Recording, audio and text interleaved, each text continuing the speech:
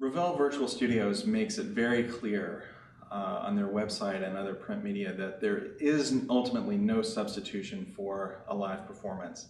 And uh, that impressed me a lot. In fact, they, they encourage live performance.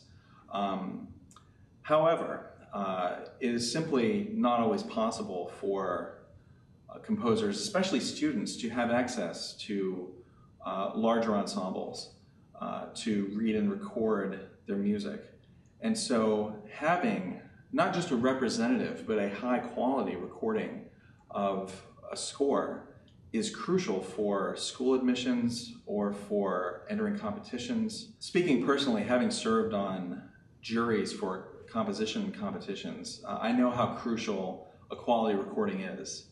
Because as much as we composers would like to flatter ourselves into thinking that we can hear everything upon just looking at a score, having a good quality recording is really what's truly essential. I hasten to add too that that for maybe for students who have graduated but who maybe don't have a university job where they can avail themselves of a school's orchestra or wind ensemble or any other large ensemble. Ravel Virtual Studios would be very useful for them as well.